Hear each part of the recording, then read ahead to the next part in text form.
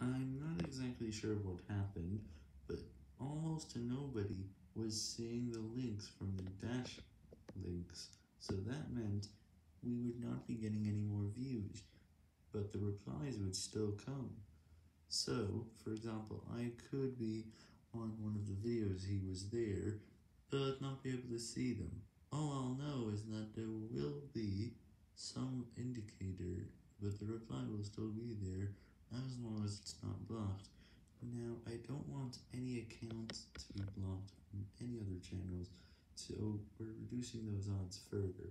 So, I'm going to be leaving less links on them.